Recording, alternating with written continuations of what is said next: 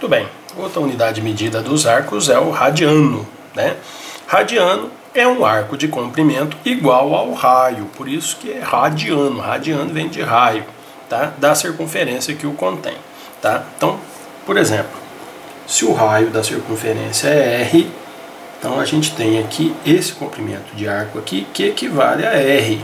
Então isso aqui tem o mesmo comprimento do raio. Tá? Lembrando que o comprimento da circunferência é dado por essa forma. O comprimento é igual a duas vezes π vezes o raio. Tá?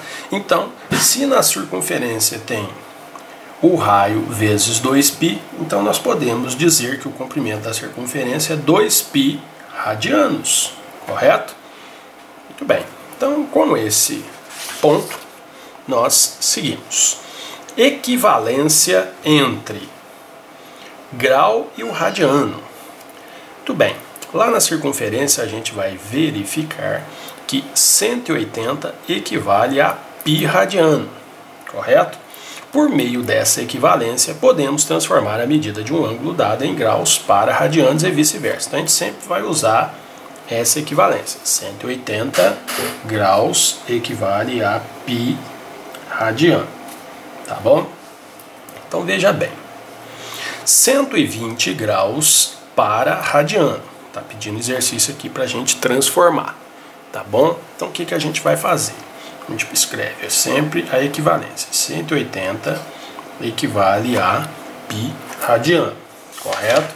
Então teremos 120 equivale a x. Dá para simplificar aqui. Ficou 18 sobre 12, dá para simplificar por 6. 18 por 6 é 3, 12 é 2 correto? Aí multiplicando cruzado, você vai ter 3x igual a 2π, correto? Logo, o x vai ser 2π sobre 3. Tranquilo? Beleza. Então, tá aí o nosso primeiro exemplo. Letra B. Transformar 3π sobre 5 radianos em graus. Mesmíssima coisa. 180 equivale a π. No caso aqui agora o x está de cá. 3π sobre 5, correto? Você pode simplificar aqui, π e π fica 1 e fica 1. Então você vai ter x vezes 1, x, que é igual a 180 vezes 3 quintos, correto? Tudo bem, 180 dividido por 5 dá 36. 36 vezes 3. Então vai dar 108. Confere? Isso, 108 graus. Tranquilo também. Aí a letra C aqui, ela pede transformar 97 graus e 30 em radianos. Quando for é, 30 minutos, quando for essa situação, a gente vai fazer o seguinte: 180, opa, graus, a gente passa para minutos. Então você faz 180 vezes 60. Tá? Estou fazendo a calculadora que facilita. 10.800 minutos. Correto? Beleza. E lá você vai fazer 97 graus também, passando para minutos. 97 vezes 60. 5.820 minutos. Lembrando que tem o mais 30. Então você escreve agora.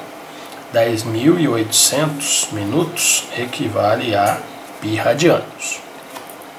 97,30 é 5.820 mais 30, 5.850 equivale a x.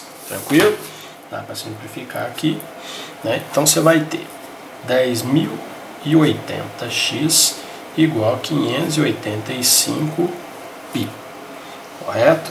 Beleza. x, portanto, vai ser 585 π sobre 10.000 e, ó, 10.080. Que pode agora simplificar. Então vamos ver aqui. É, 585 e 10.080 dá para simplificar com certeza. 585 por 5 117 pi sobre 10,80 dividido por 5, 216. Correto? Vamos ver, será que dá para simplificar por mais? Vamos ver aqui. 1 mais 1 mais 7 é 9. 2 mais 1, 3 mais 6, não. Dá para simplificar por 3. 117 dividido por 3, 39. 39 pi sobre 216 dividido por 3, 72. Mas ainda dá por, por 3 de novo. Então 39 dividido por 3, 13 pi 72 dividido por 3, 24. Agora não dá para simplificar mais não. Então tá aí. x igual a 13π sobre 24. Então vá simplificando aos pouquinhos que vai dar certo, tá bom? Então tá aí mais uma aula pra gente.